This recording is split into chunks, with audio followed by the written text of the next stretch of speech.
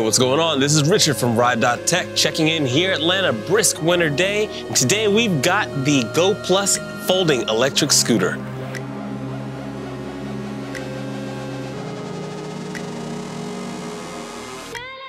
As the world gets greener, it seems we're bombarded with new tech on the daily. Mobility companies are trying harder than ever to integrate familiar tech into their products. Sometimes it works, and sometimes it can be a little bit convoluted. Now, fresh out the box, this scooter has a modern, maybe even a somewhat flashy aesthetic, and the scooter weighs in at just over 30 pounds.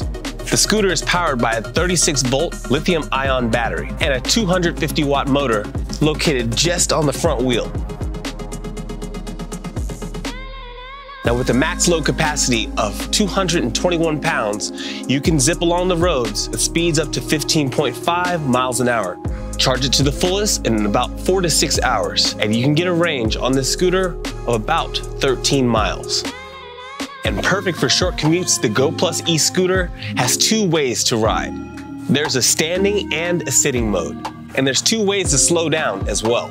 Use the handbrake button on the left-hand side to slow down, or just use the back tire brake using your foot.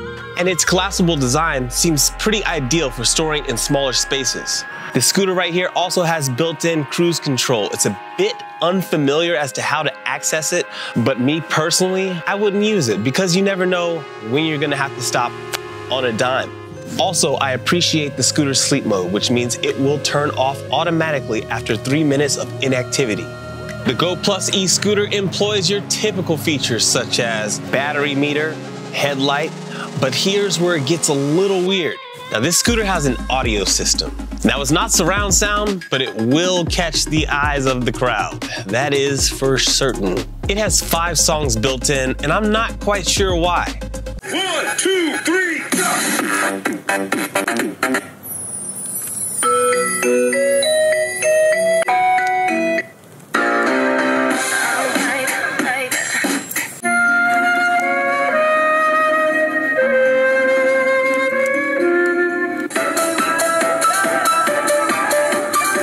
And when those songs get played out, you can program your own songs into the scooter. Or better yet, just connect your phone using Bluetooth. Yeah, the scooter has Bluetooth. It's kind of funky.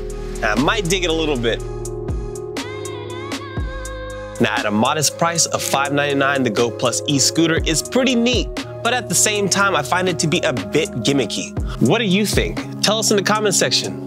I'm Richard, and this is Ride.Tech.